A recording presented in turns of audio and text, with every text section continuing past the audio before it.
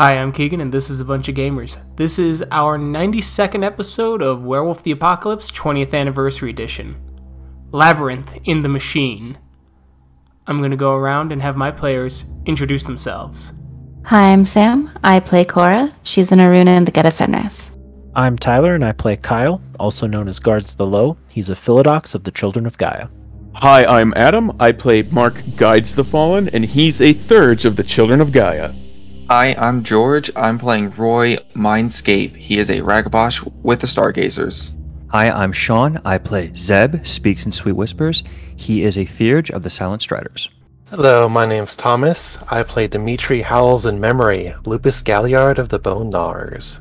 Last time, the packs made it past the Cyberdog guards and entered the cyber realm, moving through trying to investigate, finding any kind of information that could lead them to proving that Drone Master and other cyberdogs of the Sept of the Steel Mountain had fallen to the Weaver. During their investigation, Zeb, Roy, and Mark ended up in Uptown with the cyberdog Foster and Lauren Soundwave, who was convinced to help them after they revealed that their investigation was to make sure no cyberdogs had fallen. And back in downtown, Cora, Kyle, and Dimitri were confronted by an old enemy. Dr. Appleton had re emerged and had joined something known as the Progenitors, using strange new technology that shifted Cora's bones into silver and another device that seemed to rewind time itself. They were left wondering what they would have to do. Before the groups once again reunited and with Soundwave entered the computer realm. And so you stand on an electrified glass sphere around you, the infinite web of the computer network radiates around you, thousands of different strands of silk firing off electrons as hundreds, if not hundreds of thousands, hundreds of millions of spiders carrying data between nodes in an infinite mass web that represents every single computer in existence and that has ever existed, with all information here and it to be found. As Soundwave goes, I think I can get us to the right place. Uh, do you guys mind if you follow me? Certainly not. All right. As she starts to concentrate and gets a bit mixed up as you're drawn away as she goes, No, I'm sorry. And so it takes about what feels like an hour of searching. As you guys go around the web several times, after about four hours, you finally get to the right one. She's like, I'm sorry, I. This is the right one. I'm sure of it. As you see the massive node and a great spirit kind of forms around it. The spirit is odd. It is covered in what appears to be dark plate mail armor, its face completely hidden with eyes that burn slightly as it asks for the passcode to enter. It is here that Soundwave goes. Six legs to walk the strands, ten fingers to craft the future, two eyes to view the future, one mind to redeem the mother. The spirit nods and moves to the side. I will need Gnosis rolls. Uh, difficulty 4, I believe, to enter the micro level. No, it's willpower, sorry. Willpower diff 6. As you all focus and you all get drawn in as it's a huge, almost like office like building with paintings on the wall that have strange labyrinths about them. Each painting is labeled with um, a different folder, it seems. Research, personal, Umbral Journal, The Machine Messiah, Gabriel van der Linden, Promethean Days Presentation, Spirit Index, and Network Designs. You think it might be in the personal? Well, I think something wouldn't like that wouldn't be rightly advertised. Maybe it's something a little bit more cryptic.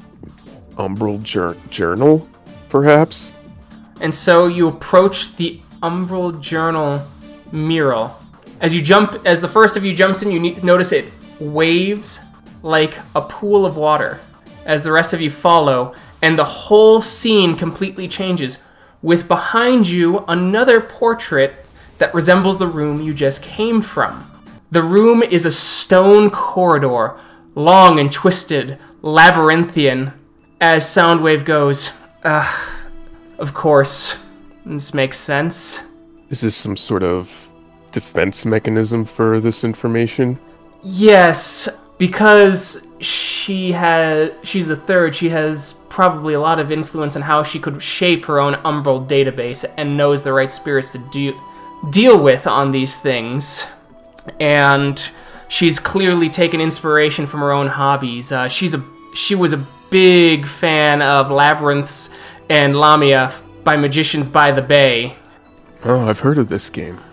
Be careful though, I know her favorite video game is also called Shadow Spirits. And the logic of this world might resemble that, but you play for keeps. All right, tread lightly then. Tread very lightly. As you start to move out through the ever switching corridors, to your left is a dead end to the to your to right in front of you. It goes onward and you see some uh, it open up into a room and to your right the hallway continues on before shifting up north.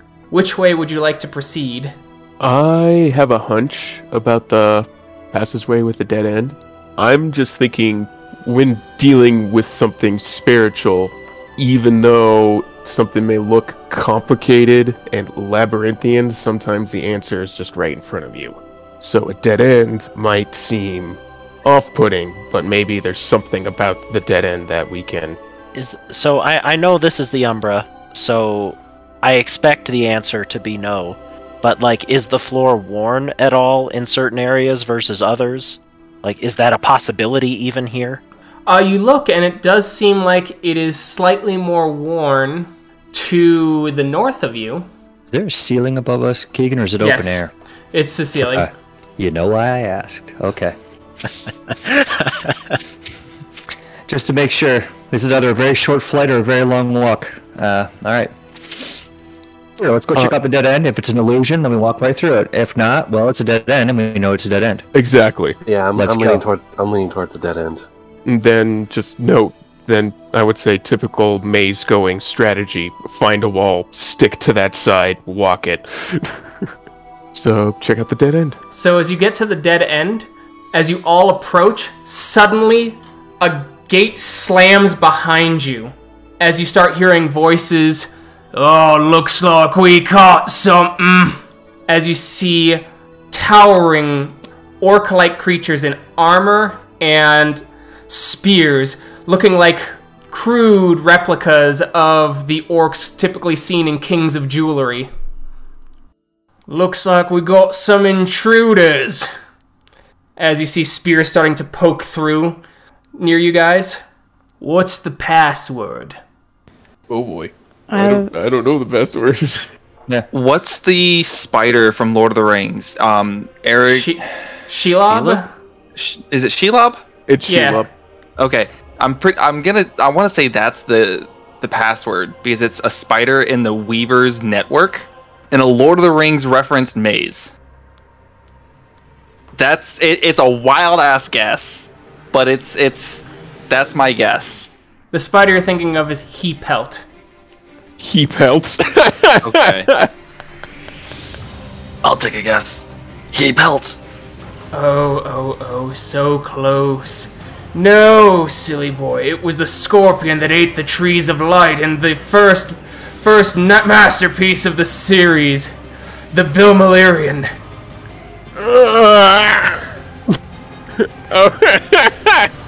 As the gate opens and you see the orcs divide into ten of them. oh. Some with spears, some with swords, some with axes. How silvery do they these spears, swords, and axes look? Or do they look irony? They look irony. Oh, good. Roll for initiative, champs. I'm gonna say our password from now on should just be roll initiative. You know, every time we don't- And one rage so- for entering combat. Yes. Thank you. I kind of need that. Orc 4 is going to come in and attack with his spear. He's going to attack. Who would be the one in the back of the li- the the line? I guess. Last one to enter the cage area. Probably me because you know Okay. apathetic. I'm just gonna go ahead and do that. Dimitri, what are you doing this round? So it's uh, one's going to spear Roy, one's going to s- spear Dimitri, and the other one's going to sword at Zeb. I'm going to use Call of the Wild uh, and then spend a rage to take a dodge action. Okay. And Zeb, I'll spend a rage to dodge, and uh, my action will be command spirit. Kyle. Uh, so first, what about Soundwave? Oh, yes. One rage for Crinos, and then they're going to attack. She's going to attack Orc number five. Alright, Kyle. I will spend two rage, one to enter Crinos, one to dodge, and one to attack uh, Orc 6. Alright. Orc 1 is going to sword Kyle. Orc 2 is going to arrow Mark. Orc 3 is going to arrow Cora. Roy? I guess I will spend a point of rage to instant shift to Crinos and dodge. Alright, Orc number 7 is going to Lord Roy, Spear Cora, and go with Sword Zeb, and Arrow Kyle. Or, no, we'll do uh, Arrow Mark. Uh, Mark? Insta shift to Crinos. Actually, we're going to do that to Hispo. And then uh, we're going to spend a willpower to activate resist pain. And then I could spend up to half of my permanent rage rounded up. Yes, so you can spend two points of rage. I'll spend another rage to dodge. Okay, so you spend a point of rage to shift to Hispo.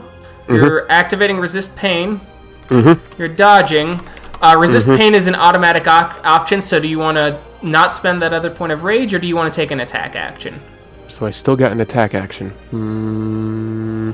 I want to hold my attack action to uh, after Kyle is done attacking his target and attack that target. Oh, what kind of attack are you going to do? You're going to claw or you going to bite? Uh, because I am in Hispo, I'm gonna bite. Okay. All right. Cora, what are you doing? I'm going to insta shift, spend a point of rage to dodge. I'm going to attack orc number eight two times, so I'm going to spend three rage for that. So it's on you, so roll your attack roll. And you Custom. instantly kill Orc 8 Nice. Go me. as you continue to claw at its, um, Yes, I do. yes. All right, Mark, you shift to Hispo. You activate resist pain. Alright, awesome. Now roll dodge. Alright, there we go. All right, so two roll over. Roll stamina, please. Alright. All right, as you take one point of lethal damage as the arrow strikes you, and you see it disappear in a puff of black dust. Ugh. As at the bottom of your vision, and only your vision, Sig, you see a little bar tick up that's violet, and it seems to be going down very slowly as it hovers at the corner of your eye and only the corner of your eye. Every time you try and look at it, it moves with your vision. Well, that's interesting. Now, the next orc comes along, and they're swinging at Zeb. Zeb, you dodge out of the way as you see the orc bring up its sword, and its sword gets abnormally large mid swing as it strikes the ground, and you see sparks fly everywhere. The next one is coming in for for Roy, swinging its sword. As it misses, and once again, same same thing. Its sword gets huge and then slams down before shifting back to a normal size. Uh, Roy, as you shift into Crinos. Alright. Cora, uh, you got a dodge. You successfully leap out of the way of the arrow. Nice. As the arrow strikes and you hear the thump tink behind you, The strange thing is, is all the sounds that these things make as they try and hit you sound indistinguishable from the previous one's swing. All right, next one's gonna try an arrow Mark. So Mark, you may do another dodge roll. Remember that you need to remove one die from your dodge pool. As the arrow goes off, you take three points of lethal damage, and that little bar at the bottom of your vision fills up, and you now start taking one point of aggravated damage per turn for the next three turns. As you see a little flashing thing that says poison at the bottom of your vision. Mark will speak up and say, uh, "Is anybody else getting these weird notification things in their vision? Kyle, as you see the other orc come in and swing at you, its sword growing large once again. Need you to dodge. You successfully dodge out of the way. The sword strikes the earth hard. Alright, Kyle, you shift into Crinos. And I believe you are clawing at orc number six. Yes. As you rip the orc in half and it is down. And so orc number six is down. Mark, you'll end up attacking a uh, empty spot. All right, Zeb. Okay, and this is the when you tell me if it works or not. This is gonna be the command spirit roll. I'm gonna do it on orc number five. Okay. Difficulty is gnosis rating, and I can just have it be a blank difficulty, and you can tell me if I succeed based on my roll. All right. As you reach out and you feel the echoing back to you, it's not a true spirit. It's a representation of the realm itself. Good. That's my action. Yeah. All right. Soundwave shifts into Crinos and attacks orc number five. She hits, and the orc that she attacks, orc number uh, five, is still up. Dimitri. Alright, uh, so I believe that's a dodge action Call of the Wild. So, Okay. Call of the Wild. Make that roll. All right. Everyone can get three points of rage. So, yep, that one's attacking Dimitri. Dimitri was not able to dodge. So it hits you, and Dimitri, though the swing in any other normal circumstance would only seem to do three points of damage, it strikes and does twice as much, doing six points of damage as the strike hits you, and you feel yourself get launched back slightly. uh, what what damage? What uh type of damage is that? Uh, lethal. Oh, ouch! Yeah. And finally, the last one's coming in for Roy. Roy dodge with one one fewer dodge. Misses. All right. So now we're back at the bottom. This one's going. Orc four is once again going to try and spear Roy. Uh, Orc five's gonna spear Dimitri. Dimitri, what are you doing? Shift into Crinos and spend a, a rage to claw at the nearest orc. Okay, at Orc 5. Soundwave is going to uh, spend a point of rage to bite Orc 4 and dodge. Zeb, Spend two gnosis or uh, two rage. One will be to insta shift. One will be for an extra action. It'll just be two claw attacks. okay, on who? Uh, I'll go for the one since I mean Dimitri just took you know got knocked down to incap and is getting back up. I'll go for the ones attacking him, or the one attacking him.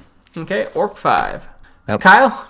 Uh, I will spend a rage, dodge, and claw orc one. Alright. Orc 1's gonna swing a sword at you. Orc 2 is going to arrow Mark.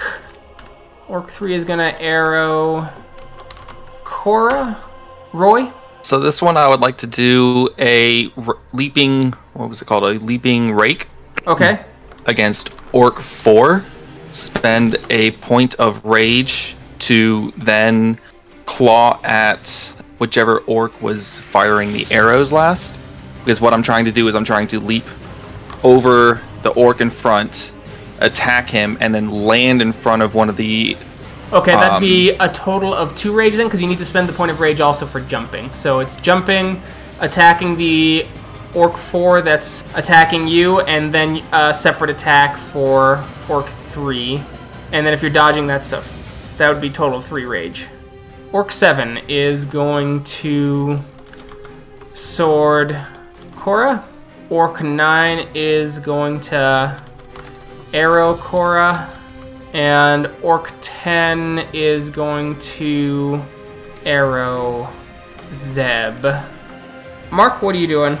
I'm gonna spend rage to dodge, and then I'm gonna uh, do. I'm gonna go after orc number two, the one who's shooting me. Mm-hmm. Um, with a bite attack. Let's spend an, another rage to do another bite attack against that orc in case I don't kill him right off. Core. I'm going to claw at Orc 7 and spend a point of rage for dodge. Okay. We'll attack Orc 3 as well. Okay, that's one rollover on Orc 1. Or Orc 7, I should say. Roll damage. You got 3 on Soak. Alright, you did 2 damage, but Orc 7 is still up. That's fine. And then on to Orc 3. Yep. Alright, you just fuck up Orc 3 Yeah. as you strike the first orc as it kind of sh- shifts around, and then you str- uh, it, but then you move on to the next one as you grab orc three with your claws, rake it down, and smash it into the concrete before its head explodes. You notice that its body disappears, and there's a shimmer on the floor in front of you. A shimmer? A shimmer, a floating nugget of light. Does it say loot? You'll have to find that out next turn. Oh, awesome. All right, Mark. Oh, you are taking one point of aggravated damage this turn, though, because of the poisoning. Right. Do I also get a like a rejuvenation roll? Or So something? yeah, roll stamina diff eight. Okay. If you succeed, that means you will regenerate the one of the lethal damage. Ooh. Oof, you botched, so you can't regenerate for the rest of the scene. Never mind. All right. So now I got. unless take... you want to use your mulligan. Yeah, I'll use my mulligan. This is kind of important. Yeah. Let's do that. Jesus. Oh no. Never mind then. So I can't regenerate the rest of the scene. I'll take that lethal damage. Yeah, you Uh, take that one ag, and now What a- Ag. Yeah, that's it. Yeah, it's ag. All right, now roll your attack. All right, that's two roll over. Roll damage.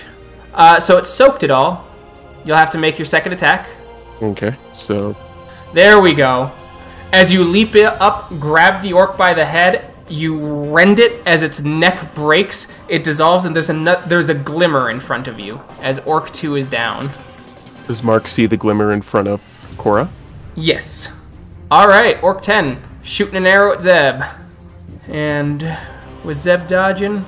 No, sir. So this is going to be face tank. All right.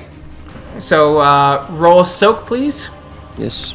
As you take four points of lethal damage, and you see in the corner of your eye a little bar that shoots up with a violet color that starts to tick down very slowly. All right. All right, Cora, time to dodge. All right. Uh, roll soak, please. So four lethal damage and the same violet bar appears in your vision. All right, Cora, time to dodge again. As you just dodge out of the way to all of you, what it appears to be is the sword grows huge. It swings at Cora, and as Cora jumps away, it looks like the blade just touches her, but and passes through, doing no- nothing. All right, uh, Roy, I need a strength athletics roll, difficulty three. Actually, can I go ahead and spend a willpower? I'm only because I, I want to make sure that I'm I'm doing this at the beginning of my turn and not halfway through it. I'd like to uh, change my target for my second rage claw from Orc three that's already dead to Orc ten that shot Zeb. Sure. Spend a point of willpower and roll willpower difficulty 8, please. Okay, it does not go. Alright, so you will have to still leap at the other one. Okay, you, you will make that jump, so now roll your attack roll. Alright, as your claw goes through, as you rake the claw through the orc and it dies. As you land and as the other orc goes down, you swing and you uh, maul empty air since its body, body had dissolved. Alright. Orc 1 coming into sword up Kyle as it runs up with its sword, and it misses. Alright, Kyle, claw Orc 1, please. It's all a rollover. Best roll of the night. As you go in and you just claw the face off the orc, its body dissolving away, and a shimmer where its body once was. Alright, Zeb. I will spend a willpower to negate wound penalties. Alright. And first claw to hit. Alright. As uh, orc uh, orc number five is gone. It's dead. Alright. Alright. Uh, Soundwave is going to spend a point of willpower and change her action in an attempt to attack orc number seven. She succeeds, and nothing. So, alright. Dimitri, Could I spend a willpower to negate the wound penalties and also change my target? you can only spend one t- willpower per turn, so you can only. Oh, okay. so, Alright. if you want to change your action, you'll still have to roll willpower diff 8, though. Okay. I, I guess I'll change my action then. Alright, you get to change your attack. Alright. I'll still shift into Crinos, uh, Okay. but I'm gonna go ahead and try to hit Orc 7. Alright, roll your attack. Okay. And then, since I can't cancel out my wound penalty, that would be a negative 5 to the pool? Yes. Um, Okay. you can roll to heal first, I think. Oh yeah, don't forget to roll to heal Oh. first. Roll your stamina Yes. diff 8. Okay. Oof. Uh, so you did not. Do you want to spend a mulligan chip? Yeah, I'll spend that mulligan, chip. Okay. So you do heal Yeah. one point of lethal, so you're at a minus two penalty, not a minus five. Alright, that's a little bit better. Um, Three dice Yeah, I'll- I'll change my uh, attack to hit Orc 7, if I didn't Alright. say that before. You did. So Okay. roll your attack. All right. Uh, you succeeded to roll over. Don't forget to p- also apply the minus two to your damage roll, though. Okay. That you get two, and I believe that one had been hurt before, so you do take out orc number seven. Awesome. Cool. All right, Dimitri, what are you gonna do this round? There's orc nine and ten. I am. Yeah, I'm gonna. s- I'm gonna attack Orc number 9 and then spend a point of rage to attack number 10 and claw both. Okay. Soundwave is going to bite orc nine. Zeb, Yeah, I guess that'll be the same thing. That'll just be an attack to uh, against uh, work number nine. okay. Kyle? I'll claw 10. Alright. Roy? I'm going to dodge. Okay.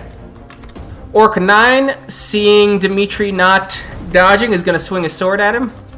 Orc 10 is going to uh, sword Soundwave.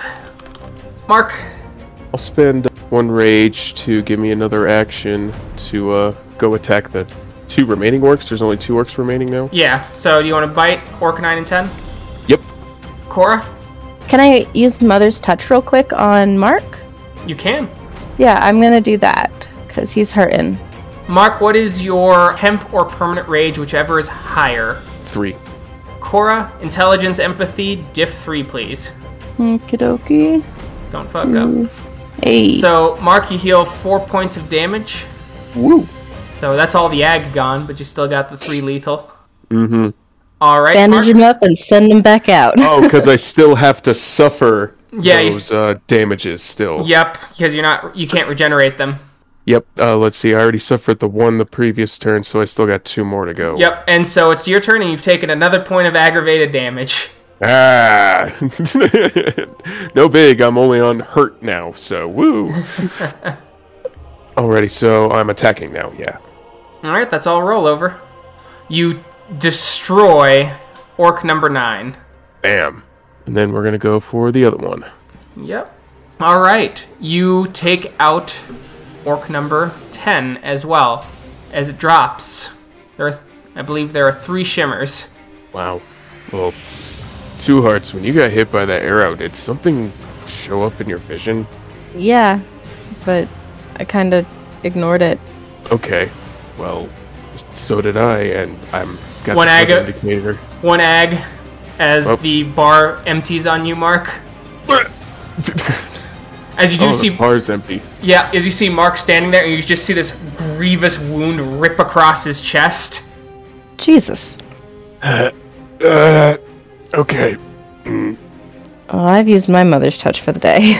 Grumbles and moans in his hispo form. Pick up the shimmer. As you touch one of the shimmers, in your hand appears something, and in your vision, as you hold it, it says Mauve Moss, and it has a little arrow next to it in your hand. What's the arrow do? If you press the arrow, it switches to a description as it gives a lengthy description of the marshes of despair, which this moss is commonly found from. It is harvested to end poison effects to those who eat it. I uh, I found an item that cures poison. All right, let's pick up another shiny. As you grab the shiny, Cora in your hand forms a shield. It's a wooden shield that says Fallen Hero's Shield, and it's got a little arrow in your vision when you hold it. What does the arrow say to me? When the lost revenant of the holy city once fought, battling despair and the forces of darkness, looking, of course, for the shadowed soul, it used this simple shield to defend itself against all evil. For beware, it is dangerous to go out alone. Yay. Thank you. Fantastic. I now have a shield. I guess Mark will go to one of his shinies. Mark, you touch the shiny, and you have an ether flask. It seems t- that the ether flask is blessed by the divine goddess to allow health to regenerate. It can only be replenished at watering holes. Look, I can regenerate now, can I? Out of out of scene, we're Yeah, you could regenerate out of combat, yes. Right, so I don't need to use this yet. Yes. So, alrighty, cool. Soundwave goes, Well, this is fucking brilliant. This is quite literally a video game, I think. What what better way to defend your information from Garou? How many Garou do you think actually play video games? Pretty similar. Not fucking many. I imagine mostly glasswalkers. Yeah. Yep. Well, Yeah, still the gate open. the gate opened, yeah. You're you're able to move. Okay, so I guess we keep going. If this Alright, is as you go back to the crossroad, there's still the one that goes I guess what was originally the position of going straight, and that one seems to lead into a larger room, and then the one to the initial right position that goes forward and then bends north. somebody asked that the way north looks a little bit more traversed, something Yes. like that. That is what Kyle saw. We should, we should listen to him now, because we got in that combat because of me. All right then, north it is. As you move north, you enter the large room as you see a creature that doesn't seem to notice you. It is a floating cube with stalks with 12 mouths, with one giant mouth in the center and a single eye below it looking around. Lovely. As the creature looks over and moves, as all the mouths speak in unison. What, was, the defender class of the viewer in Labyrinths and Lamia, second edition, .85? As Soundwave goes, Oh, I know that! Negative one! As it nods, and you notice that a candlestick appears out of the wall, and the creature vanishes into the floor. Mark's just gonna say, "Oh, thank Gaia, you knew that." Oh my gosh. Yeah, if it's anything like the game, that thing's nasty. It has several different kinds of vomit that all do different effects. And I'd hate to see what it actually does to my body in this world and not in some sort of, you know, stupid pen and paper game.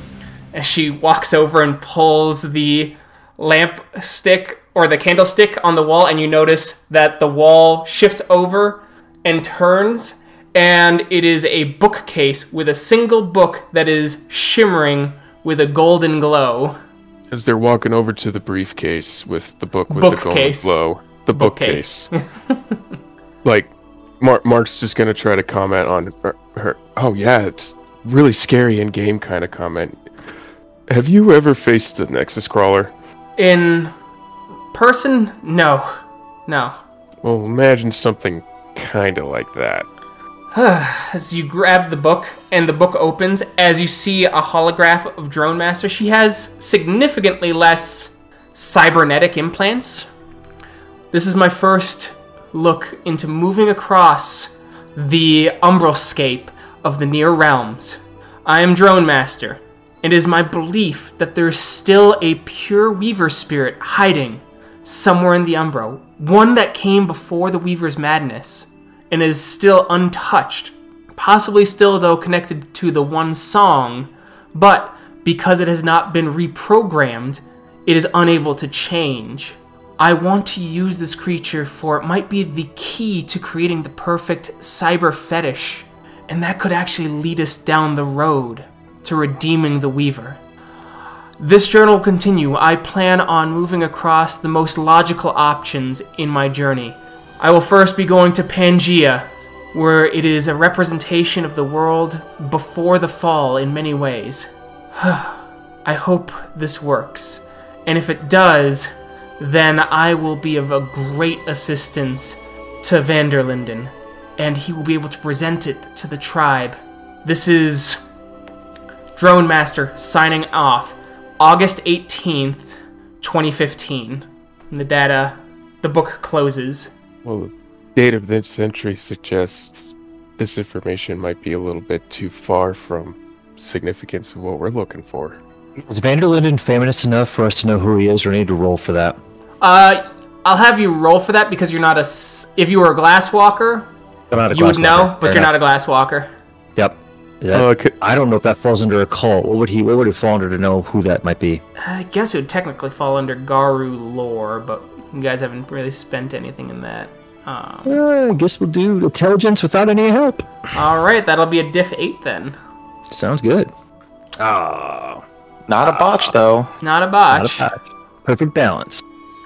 That's all. Does anyone know be. who that is? The Soundwave goes, yeah, Gabriel Vanderlinden. He he's from, I believe the Netherlands. He's he's a glasswalker. He's the founder of the Cyberdogs. Him and his pack. Interesting. Okay. Well, yeah, obviously this is before her fall, if one took place. Yeah, seems seems in line with some of the ethos of the camp. So this is good. This is good, right? Hey.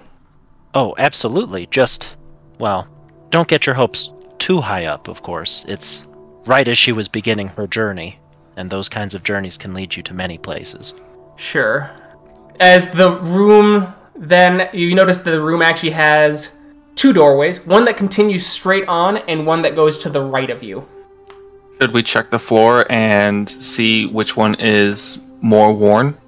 All right, as you start looking, it looks like the one to the north is the most worn one. Which would you like to do? Would you like to go straight towards the worn path or the unworn path?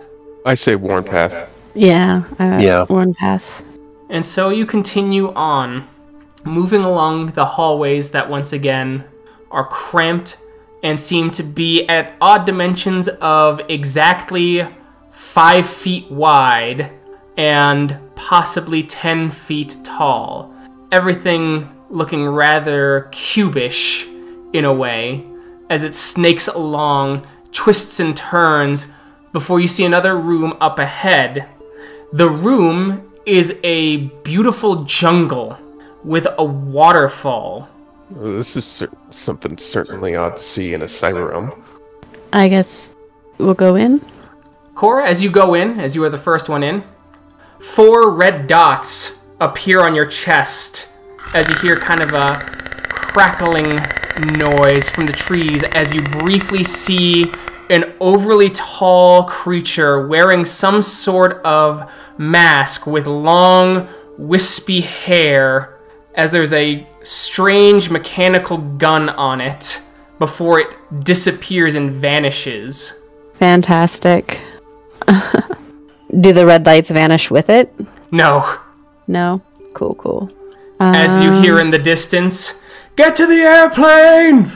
I'll look around. Is there an airplane anywhere that I see? There isn't. You'll have it as the thing seems to be waiting for something. It's a good thing I've only seen one of these movies. I mean, I, I got something. Oh, I think I know what this is here. Since we're in like this nerdy simulation, this this looks like Barnold's Nager Swartzen's Hunter movie. That's exactly what this is. Yes, thank you. Hopefully, we don't run into the crossover event Hunter versus ex- extraterrestrial. Oh, that was a, that was a scary one. Yeah. Out of Maybe- character, that's the only one that I saw. I am so sorry. Hey, if it bleeds, we can kill it. As it vanishes, and she's like, I think we have to beat it in a game of cat and mouse. Just like the movie. I don't like being the mouse. Let's play along. What? Can anybody describe what this thing looks like? Well, if I remember from the movies, looks like a. Uh, it's a large creature with a metallic like mask. When the mask is revealed, its flowing locks blow behind it as you see its 10 mandibles.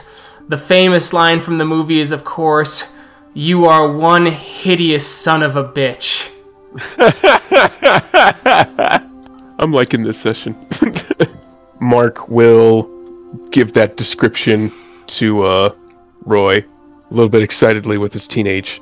He's like, "Yeah, this is a movie I saw." All right, I'm gonna go ahead and use Pulse of the Prey. Okay?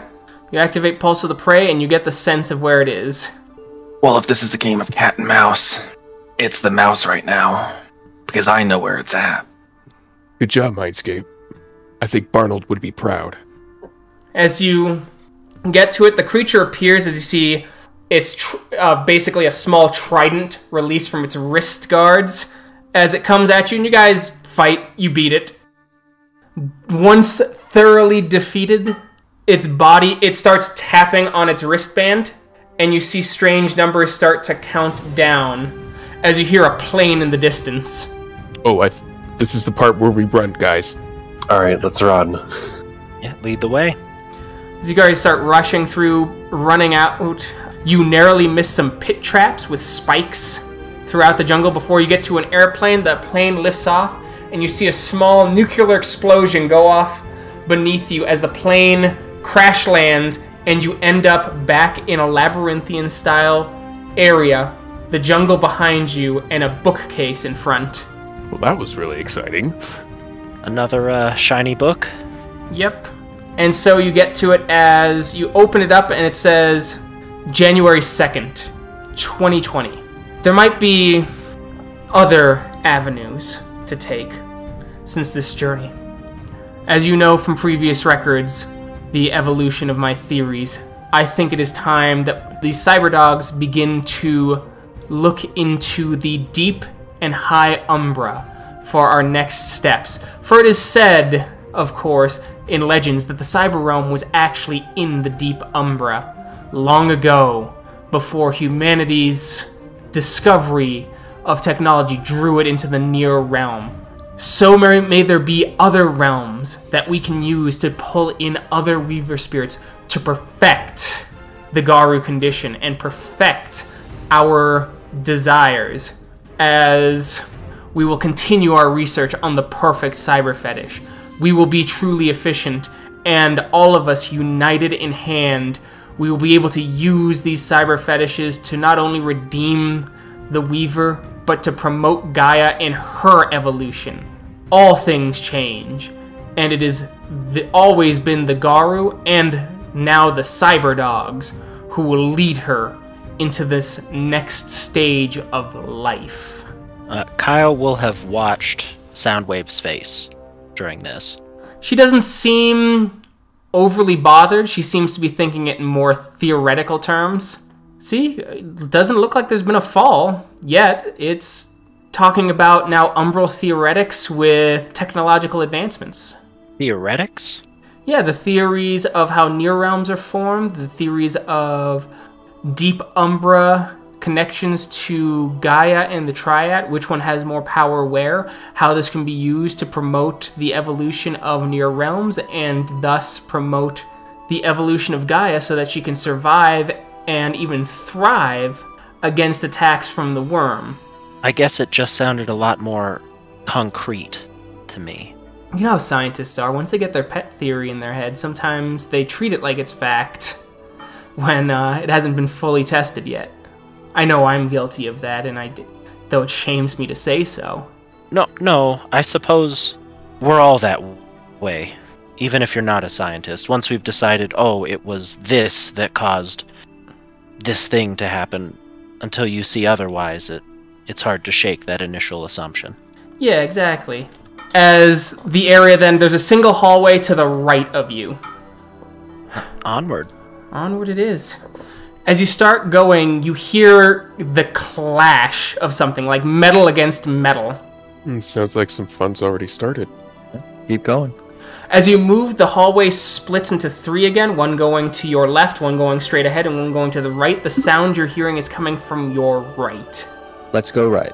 As you go right, move down a little bit as they get louder, louder and louder and louder, and you have to take another left. As you take a left, it goes into an open room as you see several strange, tiny lizard people fighting someone as she's got a sword, armor, as she starts taking them out as she kills the last one.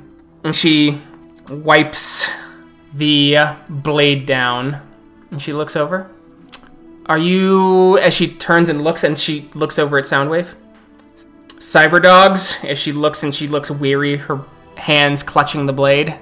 Not all of us know spirit, but Soundwave here is. I'm not a spirit, you fucking idiot. And she goes, Soundwave. Yeah, I figured she was, judging by the cybernetics I saw. Pretty fucking easy to see.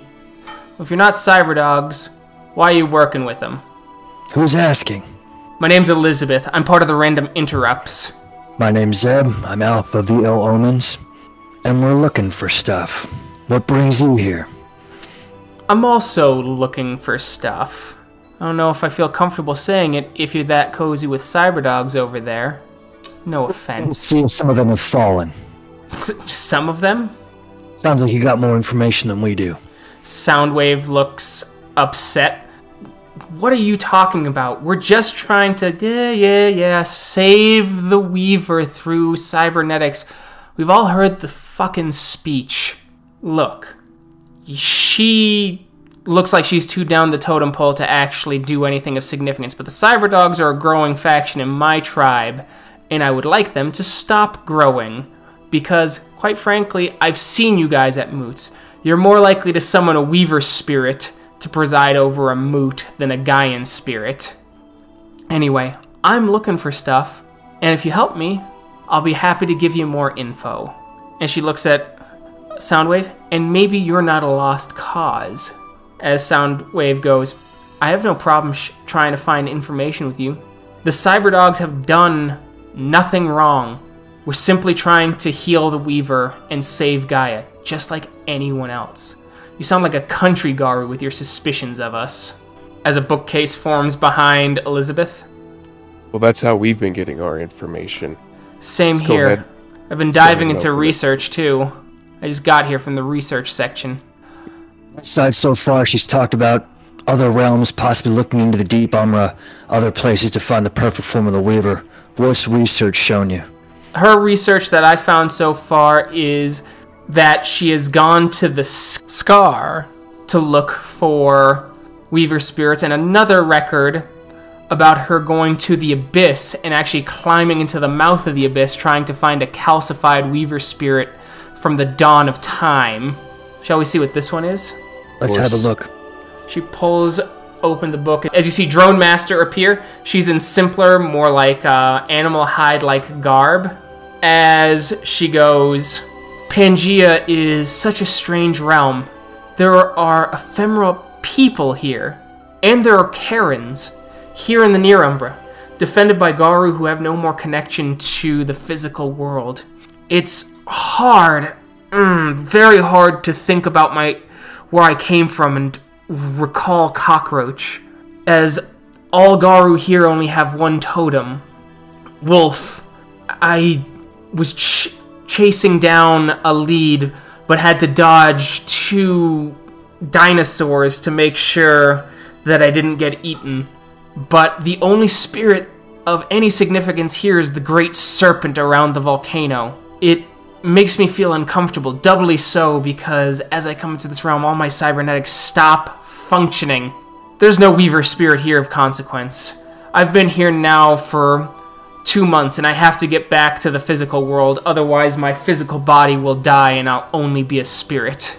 I will continue this journey and I am hoping to look into the scab next. One, the realm is safer for long term visits, and two, it does have connections to the Weaver.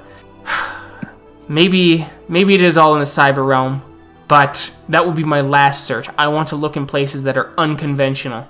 It is only through the press pushing of our limits and thinking outside of our own limitations that we can truly reach technical excellence and evolve our understanding of the world. This is Drone Master, September 15th, 2016. Well, she certainly pushes boundary and limit going to the Scar. places a wasteland of Wyrm and weaver construction, haze of toxin and chaos. As Elizabeth goes, that's true. Be interesting why she tried to find a purified weaver spirit there, unless she thought something I can't understand. Soundwave then chimes in. Who knows, maybe she thought it was because she could follow umbral tethers from the scab to potential anchor heads. Remember the theories. All near realms originally existed in the outer umbra, in the deep umbra. Sure, keep telling yourself that, Elizabeth says, as she gives kind of a distasteful sneer. Well, the last entry mentioning the scar was from January last last year, so maybe she did find something there. Hmm. Maybe. She did, though. I haven't seen any perfect fetish be touted by the cyberdogs, and they're not quiet about their discoveries. Well, regardless, in this, Soundwave is right. It doesn't matter whether the theories are right or not. Drone Master believed them, at least at this time. Well, we still need more information. We still haven't found what we're looking for.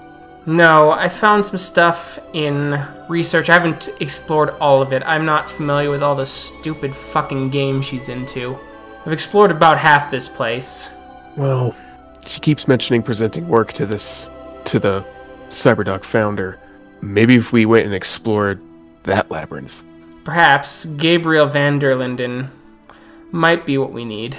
Let's at least finish our work here, to be sure. As you guys move around, um, there are several more rooms as you do fight several smaller spirits, some in the shape of goblins, some sentient plant creatures, and the like.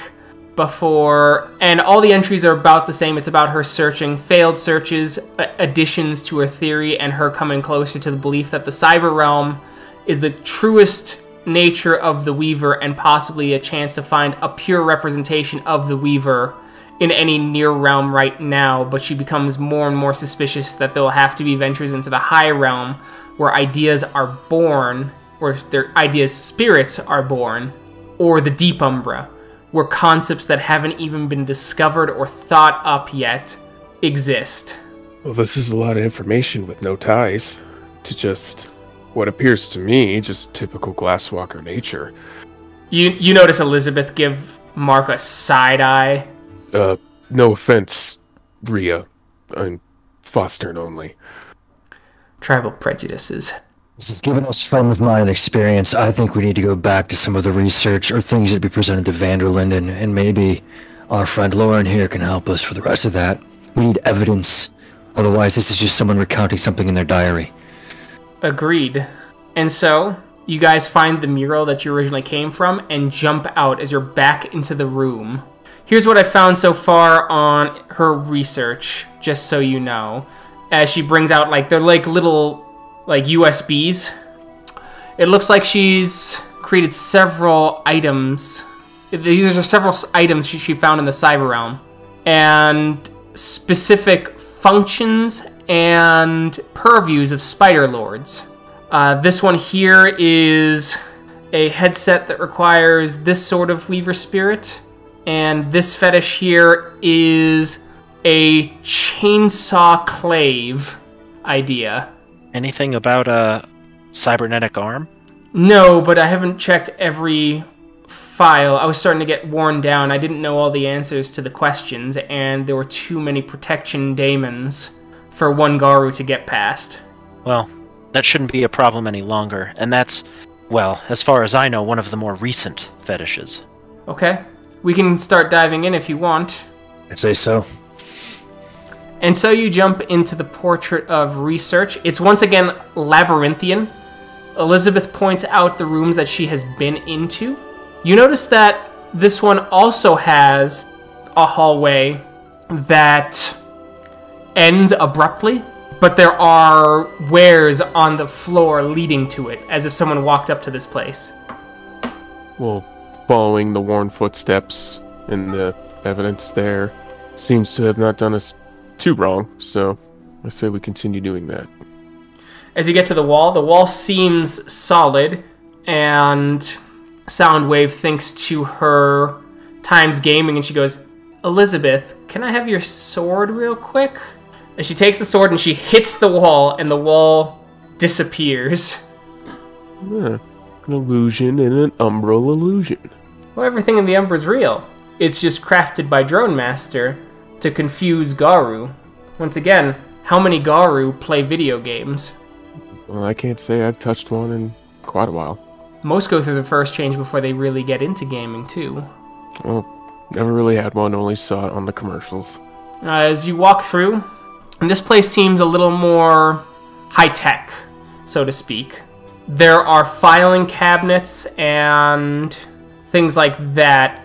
As you move through, you see something else. It's an out of place pipe as this horrific plant monster reaches out, biting monstrously before crawling back in. Out of place pipe with a hurt. Oh. Okay. Sorry, I was just thinking out loud. So, out, out of character, I I know many of these references, and I even know a thing you can do with this pipe out of character, but there's no way in hell that Kyle knows. yeah. And I don't. I'm certain that Dimitri doesn't. And yeah, does that make sense? Like I'm. Yeah. I just don't know who might even know. Oh yeah, yeah. It's like it's like the Super Mario reference, but how many of us, you know, deadbeats actually know what the hell we're talking about here? Yeah. Yeah. I I almost want to say that I would know because I changed pretty late in comparatively speaking. That's like true. I was like, I think it would be Roy or Cora 20. who would know. oh, So, Cora, you'd know that you could possibly walk down the pipe when the plant creature isn't visible. It's true. Yeah, so I will I will pass along the information like you got to wait for the plant creature to go into the pipe and not be seen and then we can I think we can go down. So you just want us to run at the plant monster? No, no, you wait for the plant monster to disappear and then we jump into the pipe. But won't the plant monster still be in the pipe?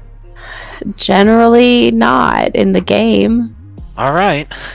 Well, I'll go I mean, first. I'll, I was gonna say I could go first since I we'll demonstrate two hearts. gave the gave the plan. Demonstrate to us two hearts. All right, sure. As Corey see the plant crawl back into the pipe. It's a looming darkness now. Awesome. As soon as the plant uh, is like completely gone, I will whoop, right As in. you as you run in and all of you guys hear this weird sound. and after a few moments you see the plant creature crawl out as if there was nothing in its way, biting and snarling before crawling back in. Mm. All right Well- then. One at a time, I guess. And so you do so as you are in this huge computer room. Tons of screens, all filled with experimentations. You see things like the crafting of cyber fetishes and things like that. However, you do find something interesting. It is a several updates about uh, cybernetic enhancements. As you see Drone Master going, unfortunately, several of the subjects passed. As you see this kind of wolf body covered in cybernetics. As you notice, the report has details on what failed, um, including enhancements to lungs, skeletal tissue, nanomuscular enhancements, visual acuity sensors, and increased bite bite capacity cybernetics that had nanobots that would leak down silver onto the teeth, allowing those Garou to deal additional silver damage. But it seems that the nanites failed and pumped silver directly into the bloodstream, causing the wolf's entire circulatory system to wither and burn from the inside. Great guy, they're experimenting on wolves. Jesus. This is no As- different than the work of Appleton. And yeah, you'll just turn like, Lauren, your people have lost their minds and lost the way of Gaia. You Lauren, have a choice Lauren, to make. Lauren throws up her hands and goes, Are you sure they're wolves and not lupus born? Is? What's the What what difference difference, is does it make? No. What if they if volunteered? They chose this.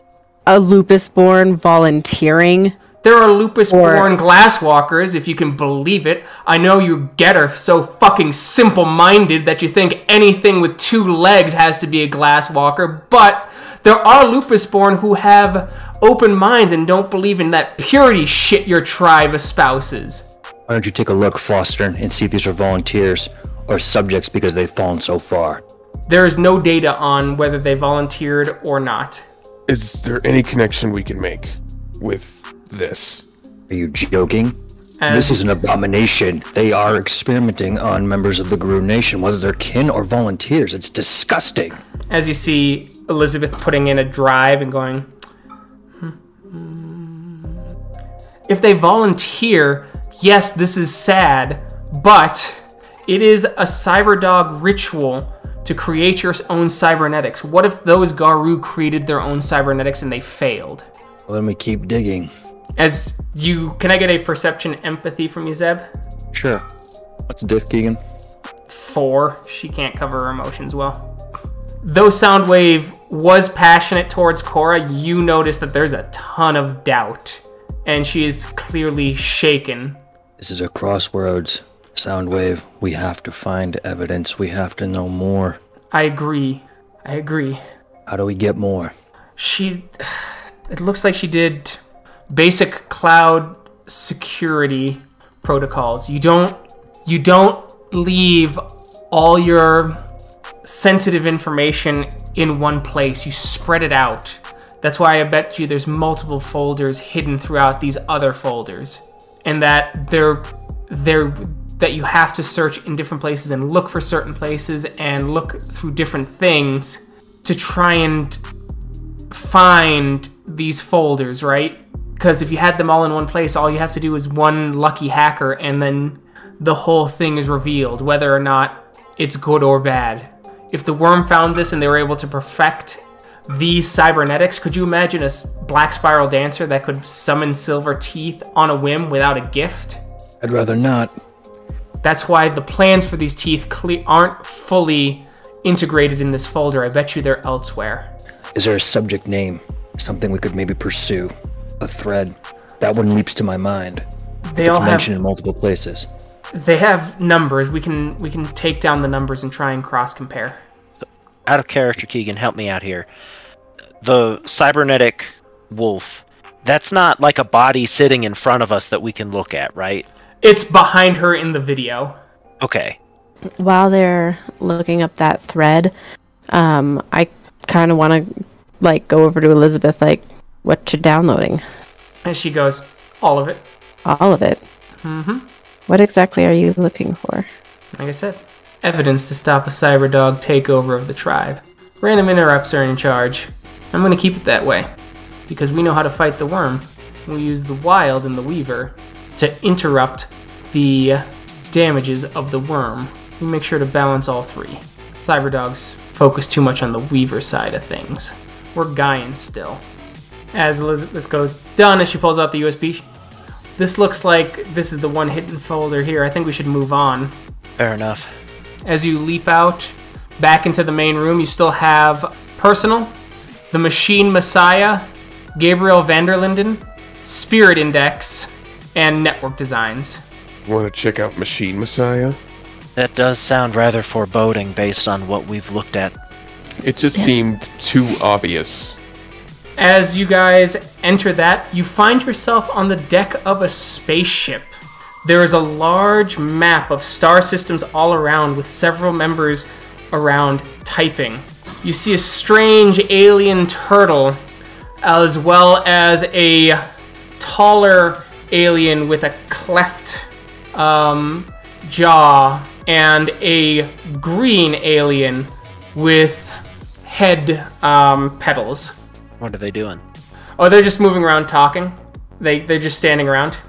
Whoever gets, we'll say whoever gets closest to the pedal one will be. Uh, we'll say that's um, uh, Mark. As the pedal-headed one goes, ah, Commander Herder. Yes, of course. I'm Commander Herder. What can I do for you? We're looking for a console to look up information. Commander, your personal console is by the star map. You can look up emails about the impending harvester attacks. Ah, of course. Thank you. And I'll kind of turn my head to the other As her, her face goes angry. He didn't say he should go! Attack him! As the whole crew turns with guns. Oh my gosh! No? I don't. No! No! No! As you all shift into Crinos and you get through a bloody battle. As there are bodies layered everywhere. I was a harvester spy the entire time. anyway, I, you know, the final blow on the last enemy is given, and I'll let loose a sigh, and I'll go. Well, anyway, we could get information from this console over here. We cry over the dead body of Yara. As you get to the console, you'll need to do a Gnosis roll, diff 4. It's like entering a console into the actual computer web here. As you all pass through, as you see this devastated temple with a giant crab spaceship launching laser beams from its claws in the distance. As you see plant people screaming and being vaporized, and horrible cybernetic mutations that are zombified attacking people as you see the statue before you. We could check the temple, or we could ensue in a giant epic battle with the uh, giant crab. Let's check the temple. Let's check the temple. as you approach the temple and you see a little ball appear as it forms into another strange alien before it shifts into an actual video of Drone Master. It's stirred as you see this massive, almost Empire State building sized, almost robot. Upon closer inspection, you notice that it's built, its body is crafted of plates, and each plate contains every form of technology humans have ever created and have imagined. It stirs. It's awakening. The great incarnate, the machine messiah. I suspect that this creature will be the avatar of the Weaver in the coming apocalypse. Some say Zhyzhak is the is the coming incarnate of the Wyrm, but they always forget that the Wyrm has three heads. It is not a unified front. Zhyzhak is the head of the beast of war. Gaia protect us when the Eater of Souls is released from Malfeas, or worse yet, the Defiler chooses a champion. But this, this creature, if we can purify it, if we can make our technology part of it, that may be the final step to curing the Weaver and saving Gaia from the Wyrm. As you see the eyes flicker on of the huge machine, as you see a blast of blue lights that are all consuming, as you see the machine move and shake and look, as she goes, it's as before it repositions itself and goes back to sleep, the machine messiah will awaken. And it will be the cyberdogs there to greet it. It'll be the cyberdogs to make sure that it's an instrument for Gaia. If they awaken that spirit and fail in their goal, what do you think would happen? It's a good The question. unleashing the yeah. Cora, this reminds you of something. Because Morgan brought it up to you. It may not be something that is directly tied anymore or important, but you mentioned seeing a great machine with glowing blue eyes trying to grab Roy when she did her visions at the Steel Mountain almost a year ago. I know this might be a little bit painful, but Morgan actually talked about something um, similar to this, and she'll go on to explain um, like the what what Morgan had seen and what she had expressed to Cora. Yeah, it Um, inspired you all got to go back to the meditation room. And that's when you had your Mm. vision of the shadow creature that tried to grasp you with Malcolm lying there dead. Well, that's just great. This is another piece. They're willing to experiment. They're willing to tap into things they shouldn't. Tempt things that would guide them. There has to be something else. A little bit more. I think we're close. I think we're confirming our suspicion, though.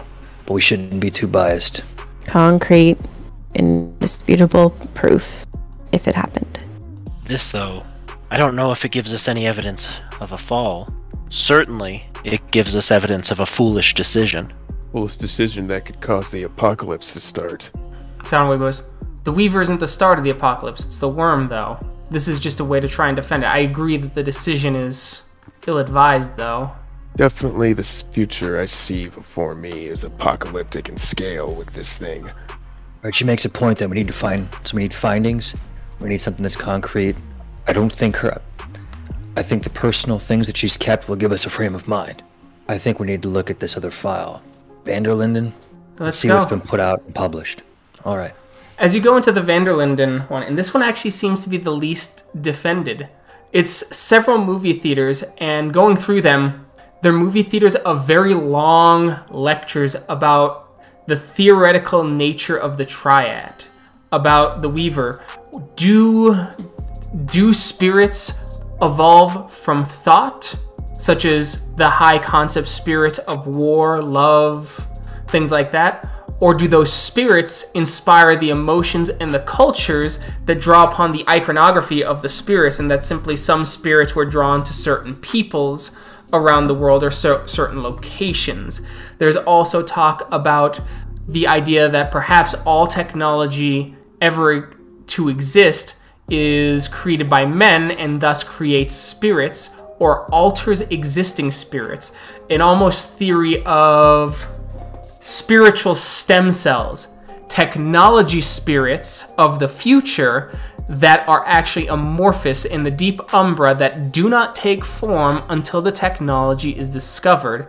And once discovered, those stem cells essentially adapt to create stronger spiritual impressions of existing theorems and technology.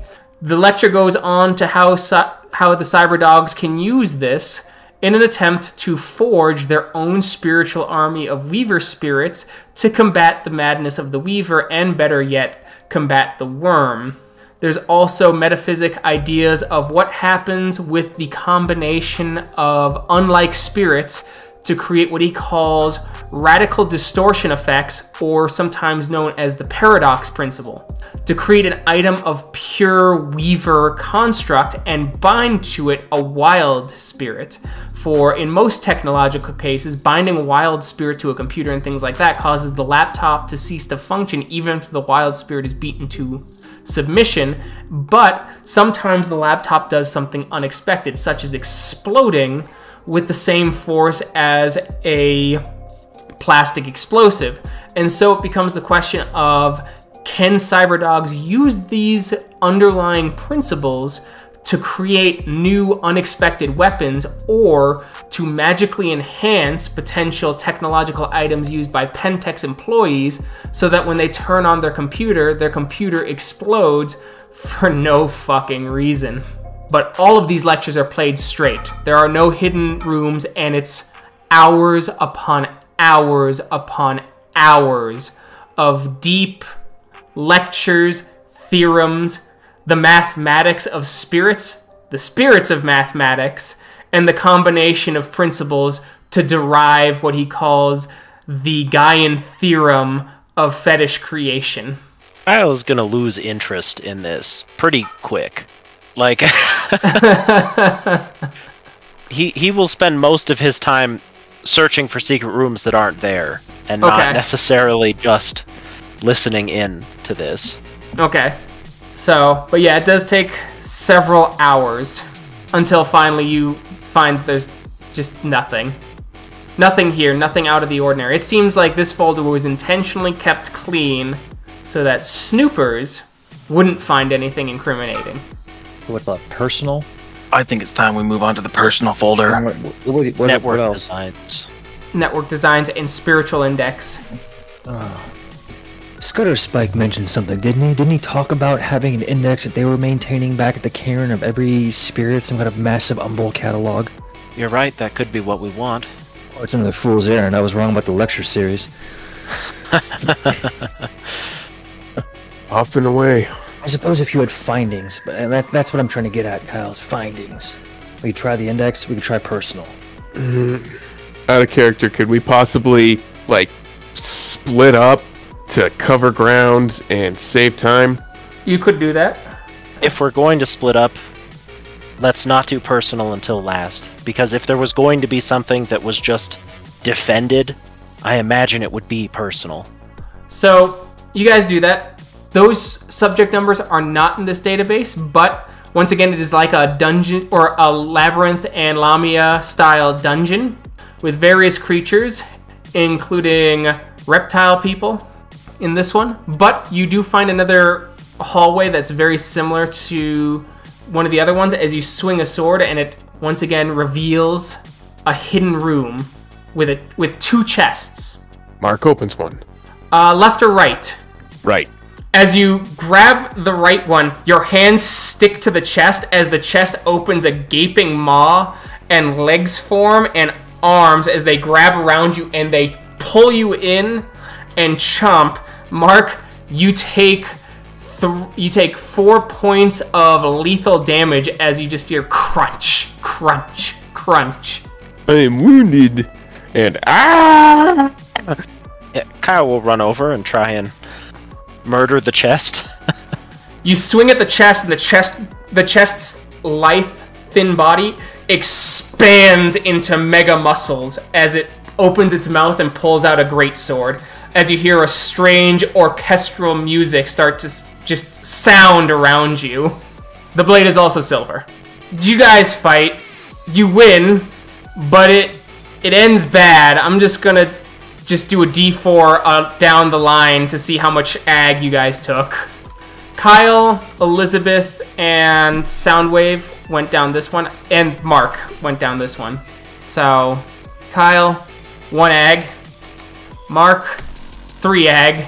Um, mm, I want to take my potion. Okay. Yeah. Soundwave, one ag. Elizabeth, two ag.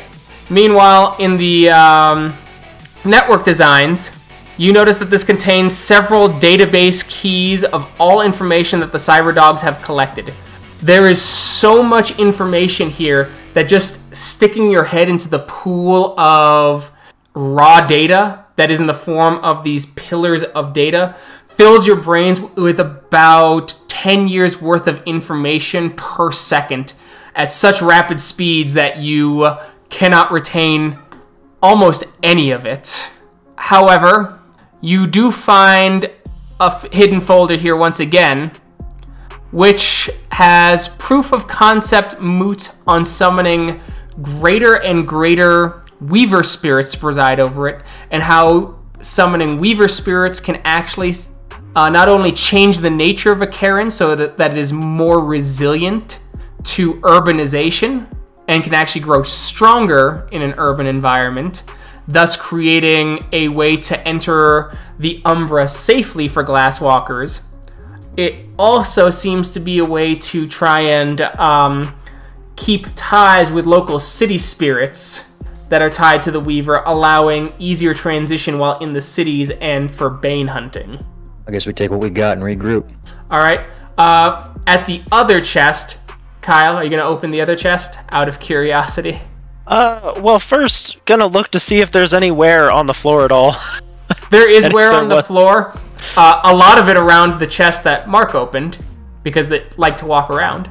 Okay, but the other one doesn't have that wear, Correct. and that's that's enough to make me feel like okay, it's not the same amount.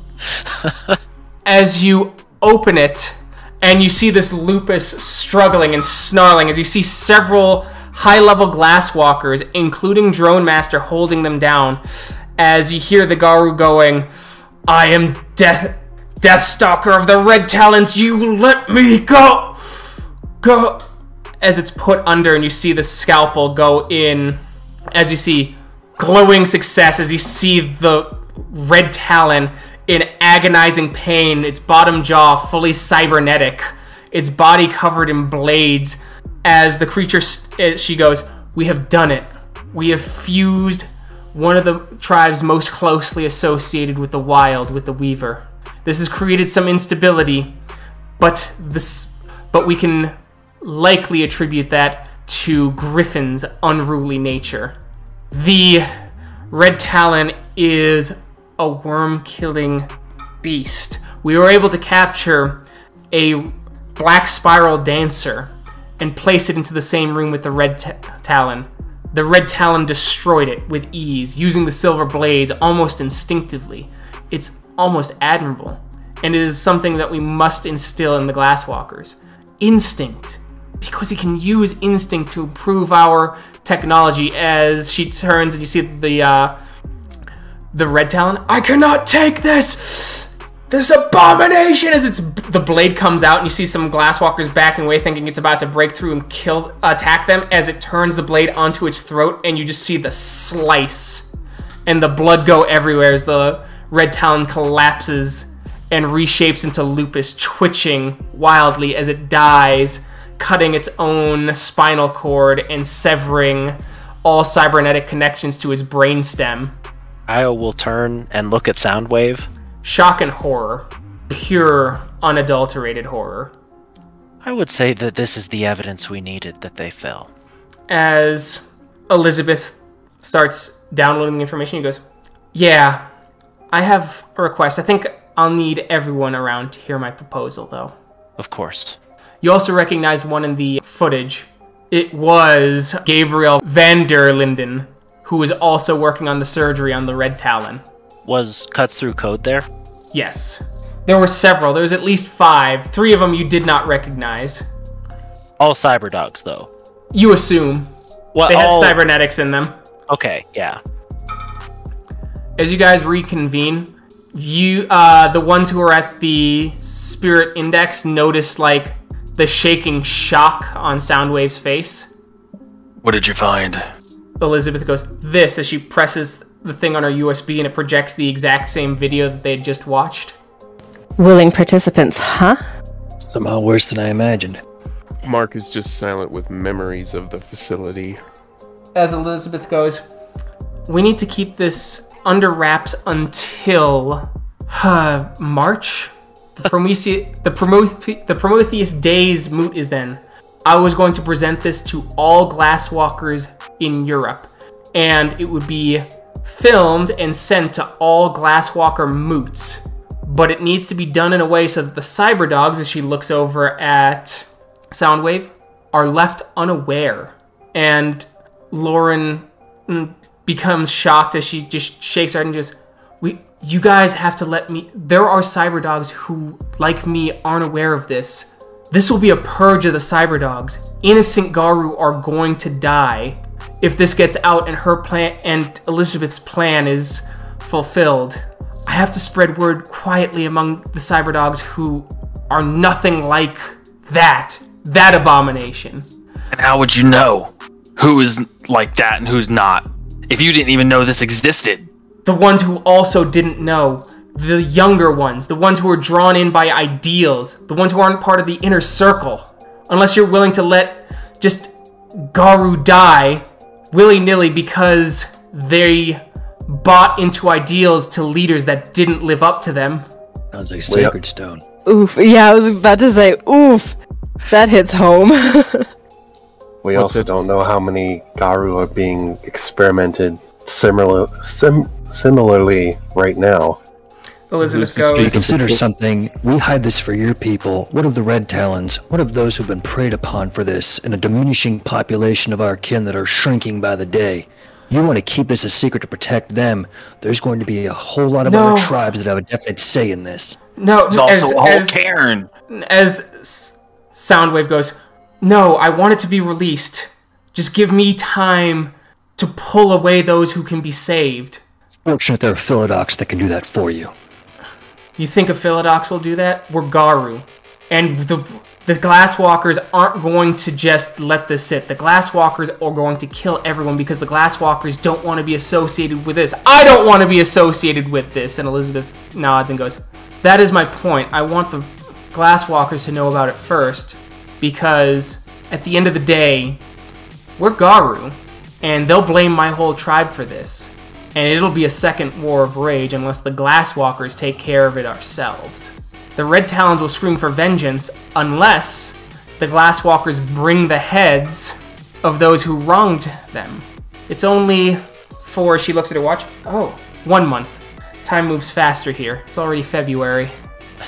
If you talk and this gets out, it could get to Vanderlinden first. And then if he goes into hiding, this stain upon my tribe lasts forever, and you risk another war of shame. The Glasswalkers will go out the way of the Bunyip. The only difference is is that we could have stopped it. And Soundwave goes, and there are cyberdogs who will get caught up in this and just be innocent victims of Garou rage. It'll just be one tribe's rage, but they don't deserve to die either. You have to let me talk to at least some of them, as Elizabeth shakes her head and goes, You can't be 100% certain that all of them aren't tainted. I'm sure a fair number of the ones that you talk to aren't, but you can't make an omelet without cracking a few eggs. Well, it's lucky we have a Philodox here to make a clever judgment Way on to what to do. way, way to shirk that responsibility and moral. Hey, she's no moral longer responsibility. no, I'm I'm not alpha anymore. Hello, hello, guards Hey, below. alpha. What this do is we do? Buck. I'm just gonna pass Buck to you. Because I got no idea. It's not meant to be an easy, easy answer. Yeah. Cora. You're, you're so welcome. I have a lot of opinions. As My always. first is that I don't know how long we can wait. Drone Master and Cuts Through Code, two of the ones in that video, are at a Glasswalker Sept and are taking it over. Elizabeth goes, Okay. I'm from a sept in near Washington Washington DC. I can send some of my people there as an exploratory mission to help solidify the strength of the Glasswalker. This is Steel Mountain, right? They sent out a call months ago because all their stargazers left. We can Yes. come in under the guise of that and help strengthen the non Cyberdog position while keeping this all quiet. And keeping an eye on them so that they don't do this to any lupus in that region. It's But- something at least. But we need it to be quiet because if those cyberdogs get whiffs of any of this, can you guarantee me that they wouldn't resort to things like assassination or trying to brainwash my own companions with their cybernetics? That's why I need this to work. It needs to be a swift and decisive purge. And for that to work, none of them, as she looks at Soundwave, can be made aware. I'm sorry, kid. I'll keep you protected. We'll hide you. We'll even rip the cybernetic device out of you if we have to, and we can get you to join a proper camp, but we can't tell any of them. Some are going to get lost. But I would rather lose, what, s- 50, 60, maybe 70 innocent cyberdogs rather than the entirety of the Glasswalker tribe if this leaks out. Or worse, Vanderlinden escapes and is able to keep the cyberdogs alive, and then the Garou turn their ire on the rest of the Glasswalkers simply because they didn't do enough to stop them. How many Uh, Cyberdogs are there, Lauren? the numbers are unclear. We don't keep very good numbers of those, surprisingly. I know we're we were a growing faction, growing with some significant power. Maybe maybe a few hundred globally. And she goes, Guards low, there are there are Cliath who just finished the rite of passage, and I helped encourage join the Cyber Dogs. If this purge happens and they have their cyber fetish, they will get murdered because I gave them bad advice. Because, as I said, my elders didn't live up to the ideals they were espousing. And that's not fair to them.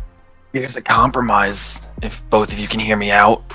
We were in, in tasked with finding out if Cyberdogs fell, and we have. and we have to take that back to the Caern. But if we were to take back you as well and make these preparations and plans, I believe it might go more smoothly to have everyone be happy. As Elizabeth goes, I wouldn't be happy. As I said, she'd tell someone, and it might be a Cliath who is good and is exactly that, and then it leaks. The fewer people who know, the less leaks you have. My goal is to make sure Vanderlinden doesn't escape. He needs to be I mean- purged. I mean, you you have a conversation with the elder of the Caern that we were instructed with to find out this information. I'm asking that you hide this from your elder or tell him to reach out to me directly. I have a cell phone number. He can look us up in the Glasswalker network. How difficult, she says, turning to Elizabeth, would it be to hunt down Vanderlinden? Could be very difficult. Cyberdogs have various locations throughout the cyber realm, and they have a closer relationship with the Spider Lords. It's unclear that if we have a falling out with the Cyberdogs, if the if the Spider Lords will side with us or side with the Cyberdogs, which hmm. means that the cyber dogs could have a fortress in Uptown to send out agents and continue to recruit, continuing to rot my tribe from the inside. I will not have black spiral dancers of the Weaver. I will not allow it. No one's asking you to allow that. I I was curious because as a compromise for you both to save those innocent Cliath and to bring the guilty ones to justice, if we can get a hold of Vanderlinden, or if you could get a hold of Vanderlinden. Vanderlinden is an elder, and once again, I have to convince all the Glasswalkers at once with this evidence. I, if I try and attack Vanderlinden and this evidence has not been presented, all it looks like is I'm attacking an elder, and then that information could leak elsewhere. Vanderlinden has also got a pack of elders. I am Athro. There. I, however, am not going to pull rank to make this decision. I understand that this is a hard decision and you helped me get here. So I want your opinions. But I am telling you right now the more people who are aware of the conspiracy mathematically means that the conspiracy will be made known faster. And leak these leaks will prevent us from doing our goals. And there is a chance that innocent cyberdogs will die regardless and Vanderlinden will escape. I am not willing to take that risk. This camp has to be purged. Otherwise, you've seen it. I know you have. You've read the doc documents. How when one accused the Gorel of being Wyrm tainted, the Garou turned on them. When the Bunyip were claimed to be tainted by the Wyrm, the Garou turned on them. The Garou barely trust the Glasswalkers as is, and so if there's any chance to say they have fallen to the Weaver, the nation will turn on them. It will be a bloodbath, and you will lose half the tribes who give you eyes and ears in the city. No, I agree with you. We need to inform Lee Steele that his Caern is about to fall to the Weaver, and that people within his midst are doing so.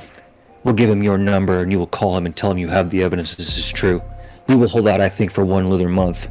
Then the Silent Striders will carry this message across the nation, and on your head be it, the fate of your people.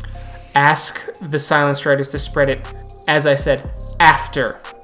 Specifically, after the Prometheus Days moot of the Glasswalkers. That is where I will be presenting it. Look, you're Athro only, and I understand that. But because you're going to be presenting this information, you are in a unique position to mold how it comes out. What we have here, what we found, isn't evidence that the cyber dogs are corrupted. It's evidence that the leadership is. When you give your presentation, give it with that in mind that they have been tricking, misleading our Cliath and Fostern. I will do that. I will. I will. But I will say that you're more of an idealist than than most to think that Garou can see nuance. It is all we can do. We have hard evidence that six here have fallen? Yes. I'm certain it's more. I'm sure you're right. I I doubt you get to Athro or Elder in the Cyberdogs and not know about this. I doubt you get to Adren and not know about it. Adren is when we start to I agree. select for leadership. Soundwave, if you all will agree, you will be held by me and my caern. You will not be able to escape. You will not be able to talk to others. You will be a lone wolf in our caern. We will not mistreat you. But I can't. I can't trust that you won't let your emotions run wild and you'll try and do something stupid. Agreed? It's getting purged. It's getting purged. Lauren, is there any part of you that believes if you start spreading this, that all of the cyber dogs won't be purged, including you? Just that they'd be able to hide until the rage simmered down. They'd be able to escape for a while, do research more purely, be able to pr- do things through their actions to prove that not all of us were like like them. I think you've spent so much time among the Cyberdogs that you've forgotten your Garou history. I mean, Elizabeth chimes in. The Red Talons have already tried to purge one, have already successfully purged one tribe from the roster. I'd rather they not get, be given an excuse to try and purge another.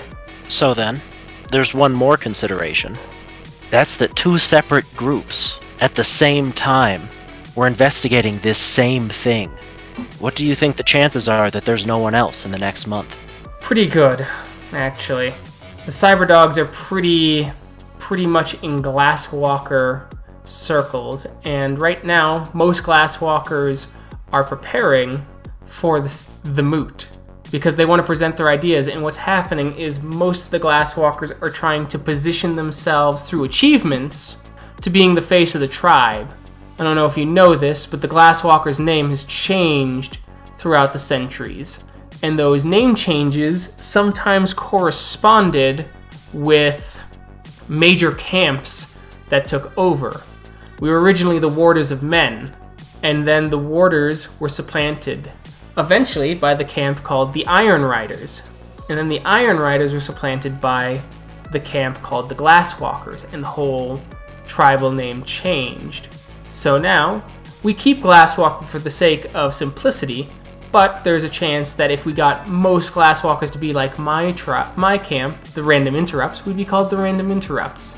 And Vanderlinden's goal is that the, si- the Glasswalkers cease to exist and that the whole tribe becomes cyberdogs. So everyone's trying to focus on their achievements. So I've already slated myself to present right after the Glasswalkers, or right after the cyberdogs.